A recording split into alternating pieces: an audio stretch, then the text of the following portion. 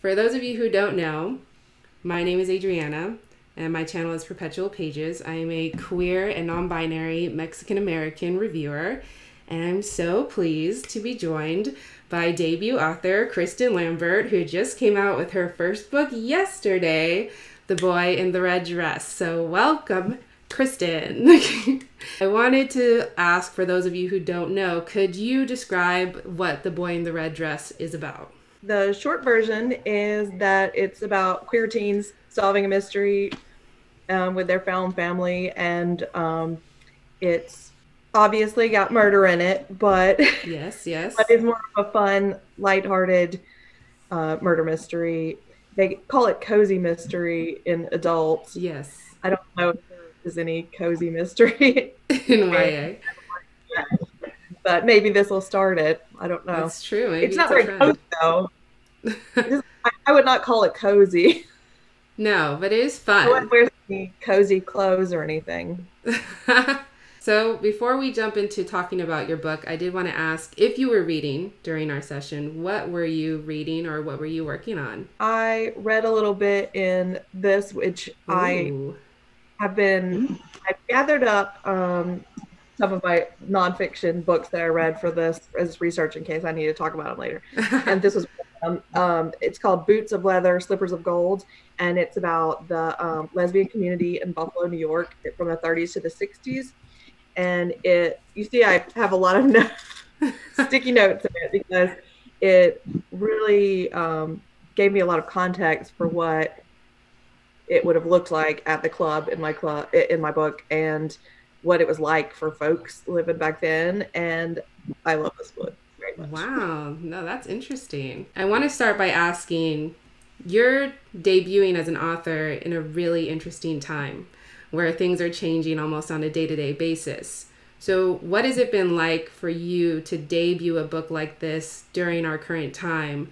And how, if at all, do you feel like you've been impacted by this pandemic as an author? It's been weird like everything. But um, one thing I did want to do on my release day, I always daydreamed about, was going to the bookstore mm. and seeing my book on the shelf, taking a picture of it, and then my friends going and taking pictures of it at their stores, and you know that whole thing. Yeah. And so obviously that did not happen, mm. but.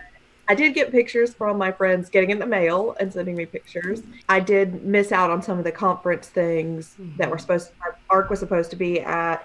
Um, Texas Library Association or something mm-hmm. like that, and it got canceled. Everything got canceled, of course. But it actually has been. Yesterday was like one of the top three days of my entire life. It was amazing. I had I compare. I realized last night that it felt just like the day that my first child was born, mm. and because I was infertile for several years before I had my kids, and it was like part of me um, suppressed how much I wanted it, how much I wanted a child, how much I wanted to be a mom because it hurt too much, you know? Mm-hmm. mm-hmm. So I realized I did the same thing with my book, mm. that it took a long time. It's nine years almost exactly since I really decided this is, I've been wanting to do it forever, but where I actually started actively pursuing it. Mm-hmm. So over the course of nine years, you can't maintain like your go get them attitude 100% of the time. Right. So I kind of suppressed somewhat, I think, how much I really wanted it. And then yesterday it was like, it's here and now I don't have to pretend anymore. I really freaking wanted this. I love that though. I'm glad you got to have that moment because I think you really deserve it. And I, I'm glad you gave us that glimpse into it because, yes, it's a long journey to being a published author. So I'm really glad that you got to have that experience. Others, but yes. and then so kind of related to that i wanted to say i mean we we can talk about the challenges and the negative impacts right of what we're all going through till we're blue in the face but I was wondering, is there anything about debuting under these circumstances that has pleasantly surprised you, or that you think wouldn't have been possible under different circumstances? Really, everything has pleasantly surprised me. There's been so much support from readers and fellow authors because everybody knows it's kind of a mess. Mm-hmm. And plus, people have more time on their hands right now. That's true. also, like yesterday, my writers group friends and my sister or and my best friend from high school they organized and surprised me and came to my house and we all stood in a giant circle and shouted across it at each other. so we had a fully distanced launch party since they knew I wasn't getting to have one and um, had cupcakes and everything. So that was a, a, very pleasant surprise. And just all the all the messages of support, people wishing me happy book birthday yesterday, all of it. I mean, it it could not have been any better if there was no pandemic. I don't wish to change anything. It was wonderful. So I'm glad. That's fun. You had like a socially distant launch party. That's cute. We love it. We love uh, celebrating yourself. Speaking of your debut, I often find myself really impressed by mystery writers, especially because I think it's one of the hardest genres to pull off. Because you kind of have to know the end game before you even start, and then work your way backwards in a way that's not obvious but also leaves enough clues to make the payoff seem logical which is just that's a landmine. So i commend you for that. So i want to know what are some of the challenges that you came across writing in this genre? I don't want to claim that what i do is harder than what anybody else does because it's all hard. It is. But um, it was hard. And um, I always loved mysteries as a kid and always read lots of mysteries. A lot of my favorite books were mysteries, and but I did not realize I was writing a mystery at first. It had mysterious elements, but I had this big epiphany one summer and was like, I am writing a mystery. I love mysteries. I'm going to write lots of mysteries. And then um, it changed to a murder, and the whole thing just went kaboom. And uh, the characters and the setting stayed the same, but the whole plot just went away, and I wrote a new one. It really fell into place then once I had that realization that I need to be writing a murder mystery. But also, it fell into the wrong place. and I had to write it again and again and again. I changed the killer four times. Oh, really? Maybe five times. I don't know. Wow. Um, so maybe other people know what they're doing. And know the ending and then write it properly, but I did not. So I had to write it several times because every time I'd write, I would think, okay, this is the killer. I'll write the whole thing like this is the killer. And then it wouldn't quite feel right. It mm. just kept not feeling right. So did you have to like rewrite like almost the whole thing every time you figured out this person's not really the killer? Kind of, yeah. That is awful.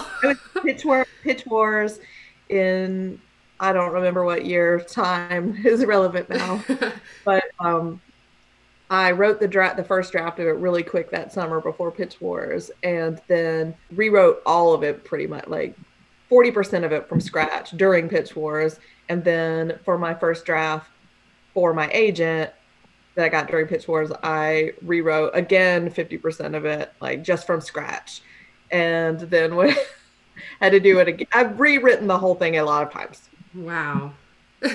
now I'm like, what are the other versions? but I won't ask that. that reminds me of a question that Noria had come up with, and she wanted to know what murder mysteries did you read as a child, and how would you say they've influenced your writing of The Boy in the Red Dress? I read a lot of Nancy Drew mysteries when I was little.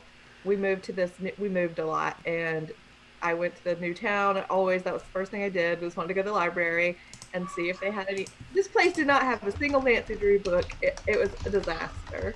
and uh, I mean, now you read Nancy Drew books, and I mean, these were like the non-racist versions. They out the racist stuff. And I've gone back and read the actual racist versions of a couple of them because they were written during the time period that I'm writing, and I got some good lingo from them. The old Nancy Drew was like bitchy they had her very snarky, and um, they made her in the, the, ones I read as a kid, uh, sort of more 1950s, like sweet and polite. And she hmm. was not sweet and polite mm-hmm. in the in the 30s versions, but they were super racist, so not recommended. for that I, reason. I do like that though. I do feel like that sort of influenced you because I think there is a nice element of like banter and uh, snarkiness that is in the story that I really enjoyed. So I'm glad that those non-racist versions inspired you. Moving on. So I feel like your story addresses a very specific niche of YA fiction that you really don't get to see anywhere else because we don't have a ton of queer YA historical murder mysteries out there. So I'm curious to know how you came up with the original idea and what the initial like nugget of inspiration looked like for you. I think nobody knows what to do with this book because there aren't a whole lot that fit in the same category. Yeah. Um, I really like most of the young adult mysteries right now are contemporaries, and most of the historicals are like the very, very serious books about war stuff. Mm. So I really like both of those types of books. So I just guess I smashed them together and made um more lighthearted version. Like the past sucks, you know, the real version. Mm-hmm. And you know, there's racism and classism and homophobia and just everything terrible that we still have, but just worse. and I wanted to address those things, but also have a story with just queer kids getting to have fun and mm-hmm. make friends and uh, fall in love. So, mash, mash, just smashed it all together. I don't know.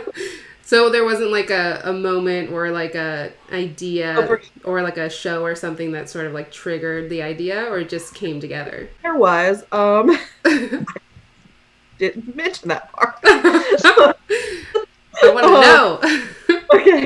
Well, I like history and I tend to go on these like Wikipedia rabbit hole things where I just dive and read about every king that ever existed in England or something. And so somehow I ended up on this rabbit hole where I found out about this drag drag queen named Karyl Norman mm. from the 30s. And there was this like moment in time where drag got more mainstream in like 1929 to 1931. They called it the pansy craze. Mm. Adorable. Anyway, Karyl Norman was fabulous, and he's the reason I gave Marion the name I did. Marion Leslie. Both names are sort of um, could be androgynous because Marion and Carol were names that um, were often used for both men and women at the time. Mm-hmm. Anyway, Carol dr- traveled around the country doing drag, and his mom traveled with him and made him glamorous costumes and stuff. I just loved this guy, and he's where I got the original idea. And the fact that there the 20s had gotten gradually more open-minded and it sort of peaked with this mm-hmm. drag craze and then the depression hit and there was a conservative backlash mm. and i was like oh that is really familiar to my current you know our current situation mm-hmm. so that was what really got it, the idea churning and i don't know why but millie my main character is just sort of appeared in my brain that she would be this best friend whose aunt owned the speakeasy and I always heard the story in her voice. And Noria is telling me we have an audience question, so take that away, Noria. Thank you, Jenna. Hi, Kristin.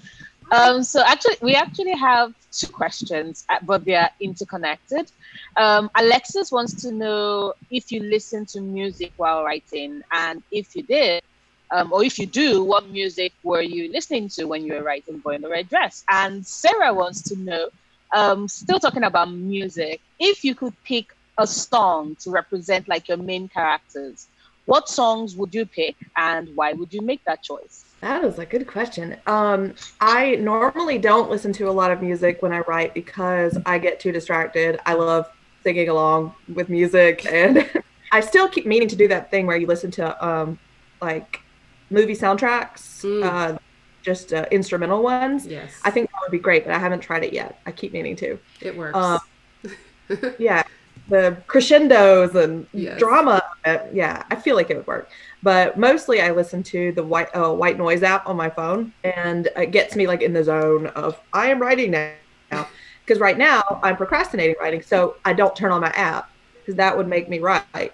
It, you know, my brain it doesn't like to cooperate. During The Boy in the Red Dress, though, I did listen to a lot of 1920s music to get me in the the mood for it. And there's this band called um, I don't remember what they're called, oh, the Shotgun Jazz Band, and I heard them once in New Orleans in uh, the Spotted Cat, and they were had this very old fashioned vibe. They, a guy with that big upright bass thing, clunk clunking on it, you know, and Um, so I bought their CD when I was there, and I just listened to that on repeat a lot. That's really the only thing I would listen to. It was that was at the time my trigger. Get into the zone. You're writing now about this. As for a song to describe my character, or there are a lot of Gershwin songs that I really like mm. that I couldn't use in my book because they were not out of copyright yet. Oh.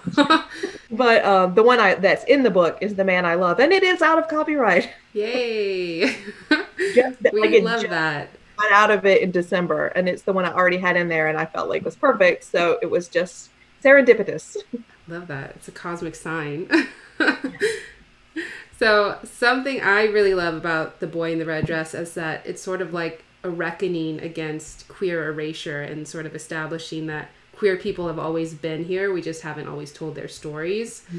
So, and it's done in a very fun, sleuthy, suspenseful kind of way. And it's also about seeking queer justice. So, I was wondering, were those themes you always wanted to address, or did you sort of discover that in the writing process? I think all along I really was interested in that, but it it did change over the course and got more and more important to me. Mm-hmm. Um, I worked on this book off and on for something like six years. I try not to add it up how long it was because it makes me sad. so I don't know exactly. It might be 10 years for all I know. And I just haven't blocked it out. yeah. Uh, but initially, like uh, my sister's lesbian and I, one of my close friends was gay and took me to my first drag show. The ones the book is dedicated to. And I had lots of queer friends, so it was important to me as an issue. But over the course of writing it, I figured out that I am bisexual. I did not know before. Love it. So it became about me and for me too mm-hmm. over the course. So it was a good thing it took so long because it would have been a very different book. I mean, Millie started out straight, haha. Big mood. yeah, like over time, she didn't even change when I realized she was bisexual. She was exactly the same. She was she was bi all along, like me, and just didn't know. I just didn't know.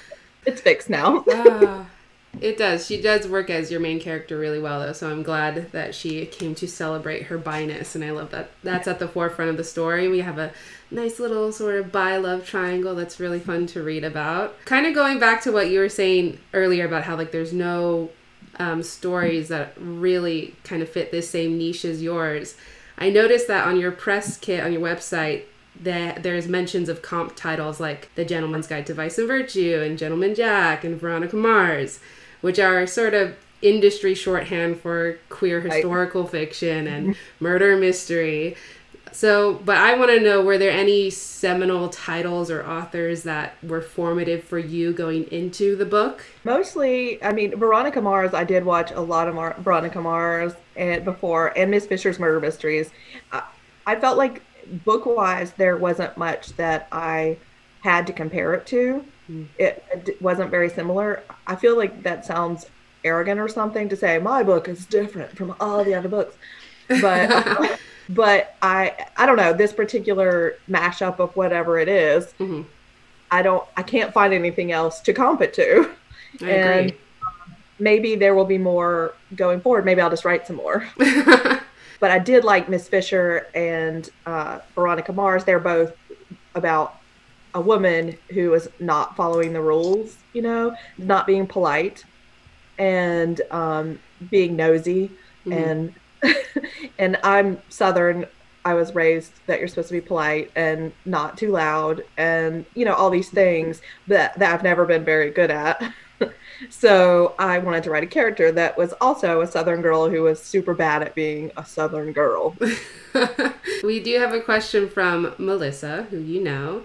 So she said, "What do you wish you knew before you started querying the boy in the red dress?" I queried it earlier versions of it. I wish I had not done that back when I thought it was not a murder mystery and didn't know Millie was bi. Like there were so many things that I wish those those versions never went into the world anywhere. Maybe what something surprised you as uh, something that surprised you about being part of the industry that maybe you didn't know before. I, I wish that I had been more aware of what I needed mm. as a client and as an author once I got the book deal. Like I think I was too afraid to rock the boat and too afraid to um, ask my questions And I think that people should ask questions. And it took me a long time to get to where I would ask for what I needed rather than just hoping it would appear. Mm-hmm. So I would definitely recommend anyone to not be afraid to ask questions. There's been some stuff on Twitter lately about whether to ask, ask, just ask yes. anything you can, anyone you can, anyone you can think of. Ask all the things. I think that's good advice because a lot of people don't know what goes on behind the scenes, and there's not really like a blueprint for what going into publishing looks like. So I guess people just assume they don't have a right to ask those questions, yeah. but that's good but advice. I think that in publishing, it's not like a malicious intent to keep information from you. Right. I think that there are so many little things in this industry that if you're already in it, if you're on the publisher or agent, whatever side of it, you already know all this stuff. It's second nature to you. So you don't, you assume that everyone else does too. But it's not. We don't. I didn't know any. I was always asking other author friends, like, how does it? What should I expect? I don't have an idea. Instead of just asking my editor, it's it was my own fear. A lot of it, mm-hmm. but and it wasn't that they were trying to keep things from me at right. all. Right. It's just they didn't know I needed to know it. well, that's good though that you have a community of authors that you can turn to and be like, mm, "Is this normal? Like, what am I yeah. supposed to do?" so, kind of going back to what you were saying earlier about like not being like any other books. um, I know when I brought this book to our quarantine pages sessions, a lot of people were very excited about it and really into like all the different facets of the story. So, what are some books that you would recommend to people who want to read even more stories like yours? I know we said there's not a lot out there, but you know. Well, I have been told that it's similar to Iron Cast mm. by Destiny Soria, I think is how you pronounce her name. And um, I haven't read it yet, but I put it on my TBR immediately. It's on mine. It's on mine. Yeah. So I've heard that one. Um, that's the only one I've really heard it compared to since people have been able to start reading it. But I bet some more will surface as more people read it. And I'm excited to read more books like it because obviously that's why I wrote it. I really like this. I want books like this. Somebody write them. I don't have to write them. Similarly, Noria asked earlier, do you know of any other books set during the Prohibition era that you would recommend? I know that um, Libba Bray's Diviner series mm. is set during this, and it has some similar vibes. It's just more of the um, supernatural stuff. Like mine doesn't have any supernatural, so um, hers. Like I read her first one, and it really scared me. I'm a big wimp, so. I'm like, oh my god, there's like devils in this. I'm too scared. So yeah, I know. I've heard that one's like really creepy, so I haven't. If you're easily in. terrified like me, then maybe not that one. But but otherwise, it was really fun before oh, it got. God, I'm glad. so I wanted to know: Are there any future works on the horizon that you can share with us, and will they be in the same vein as the boy in the red dress, or will they be something completely different? Oh, my cat's here. I would write sequels to this book all my life, forever, if I was given the chance. I love these characters and I want to write about them forever, but no one has given me that opportunity yet. Oh no, I want the sequel. yeah, listen, publisher people, people want the sequel. I want um, it to happen. I don't think it's ruled out or anything. It just, you know, everybody's cautious. They want to find out if anyone wants to read this book yet before they give me more money. Maybe one day. And I have a spin-off idea with um, Sharp, the reporter, being the star of the a book. I love her so. I She's basically my third character. so would it be like another murder mystery, or if she did get a spinoff? All this is off the record, by the way. this is not official. totally unofficial. Um, yeah, I, I, would do a murder mystery, and of course, bring in all the other folks because she'd be like, "Well, I know this this chick Millie who knows how to solve mysteries. Let me go see what she's up to." And so Yes. I, I, love that idea and I want to do it really bad. So maybe I will. But my thing I'm working on now is a middle grade and really different. It's also a mystery, but it's set in like a secretive Disney esque park, Ooh. amusement park. And the kids have to, um, these two cousins have to go behind the scenes to try to find their missing tour guide slash one of them's mom. I've been to Disney World like a bunch of times.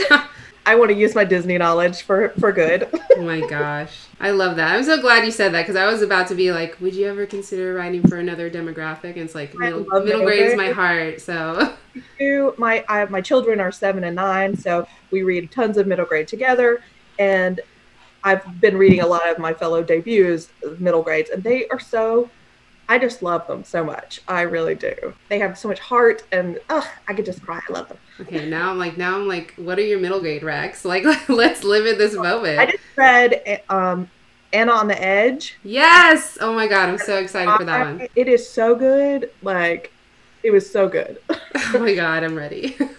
I can't even. I'm bad at reviews because I just get like, I don't know, just read it. But it, it was so good. It made me cry. Of course, all books make me cry. I cry all, a lot.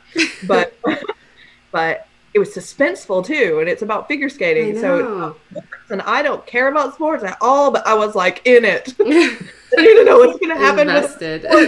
I'm glad to hear that because I'm super hyped about that one. Nori said someone asked um, if you couldn't get the sequel or spin-off published, would you consider self-publishing it? I don't know how feasible that is, but I don't either, but you know, I don't know, maybe. There's no telling what I will do. I don't know what my future is at any given moment. So I'm just fair. trying to I'm just hoping that I can still write books. I think it, this happens to a lot of people. It's like you forget how to write books in between everyone. And I've had a lot of intentional semi-intentional procrastination going on this year. I've decided to buy a house that had to be completely renovated from the ground up. This is my house that I live in and the other house, that's where my other that's where my June Hur book is that I've been reading, so that's why I had to read my this instead. So for 6 months, that's all I've been, you know, I get tend to get obsessed with something like it creative creatively like I taught taught myself to sew one time for six months. And I just did not sew for six months while listening to Taylor Swift. And so now the house has been my six month creative creative energy suck. But it's almost done, and I'm very excited about that. Yeah. So I because I want to write again. I miss it. Mm-hmm. My little scraps that I've done all along are not good enough. I need to just dive in. Yeah. something. Noria says she has a question for you. So Noria, I'm gonna let you ask that yourself. okay, hi Kirsten. Hi. Um, so I I was curious, right? Because you've expressed your love for Nancy Drew, which I, I read a lot of Nancy Drew growing up, so I felt that so hard. Um, the same thing with the Miss Fisher Murder Mystery, and you know the way in which they call like writers to like add to the stories by writing their own interpretation and writing a new book. So if you have the chance to write a Nancy Drew book that will be added to the Nancy Drew collection or a Miss Fisher murder mystery, which of these two would you choose? Hard choice. Can I just do both? I, don't, I can't choose. that sounds amazing. If they would ask me to do that, I would be like, yes, for sure.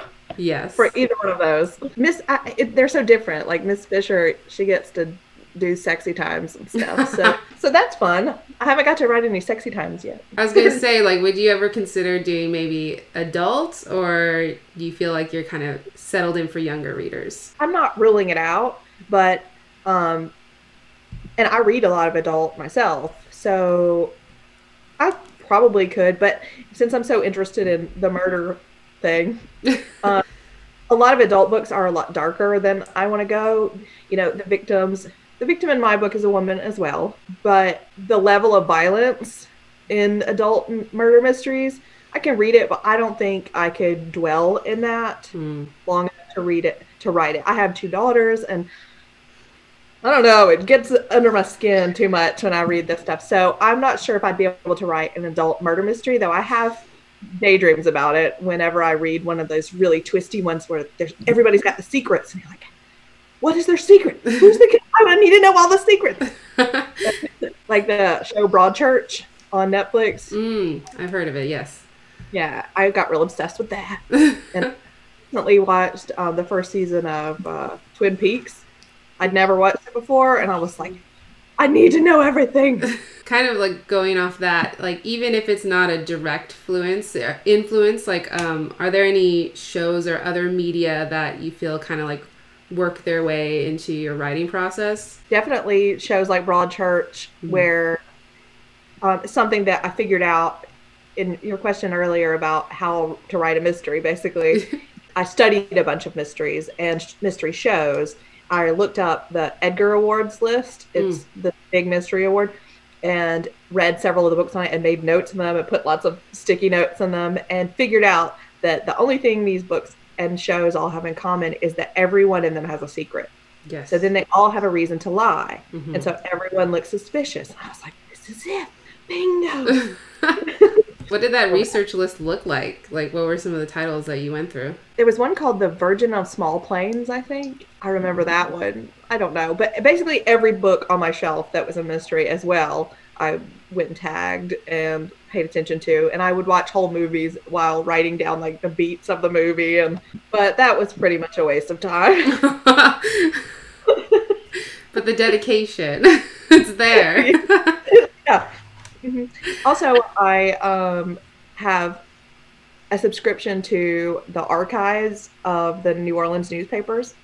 So I did a lot of reading those. They were extremely useful because hmm. I did a lot of like what happens in prohibition when someone gets arrested or when a cl- club gets raided what even happens i couldn't find that out i read so many books about prohibition to find out what happens when can they open up? Do they have to move somewhere else? What do they do? And the newspapers were super useful for that because they would tell you everybody's business. They told you back then, they would tell you everyone's full name and their address. Mm-hmm. You like the victims of crimes and stuff. Mm-hmm. Yeah, old newspapers are wild.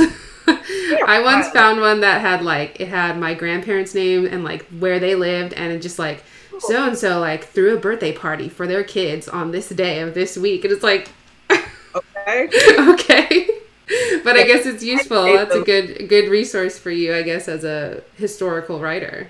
I don't know if that was the answer to your original question, but I don't even know what the original question was. Something about my inspirations from other books and influences. Oh yes. Um, I just know I really like all the books with where everybody has a secret and that make you keep turning those pages. Even like Ana on the Edge or other books that have suspense. Suspense is mm-hmm. just like my bread and butter. I just love it. So I agree. And that's really what holds every book together is, you know, what's going to happen next, what's going to happen with these characters, that kind of thing. So those are all the questions I had for you. So to sort of wrap up, uh, do you have any events coming up? Where can people find you on the internet and get updates about your work? Uh, not really any events because here we are. But mm-hmm. uh, and things you know are popping up kind of randomly, so I don't know what's going to be happening. But watch my social media to find out. Um, I'm at Kristin L Writes on both Instagram and Twitter, and my website is KristinLambertWrites.com, and it's Kristin K R I S T I N. All right. Well, thank you so much for joining us. That concludes our conversation. And I will follow up with you, and hopefully, we can collaborate again in the future. I hope so. Thank you so much for being here. Thank you, Chris. Not in- Thank you. It was fun chatting with you.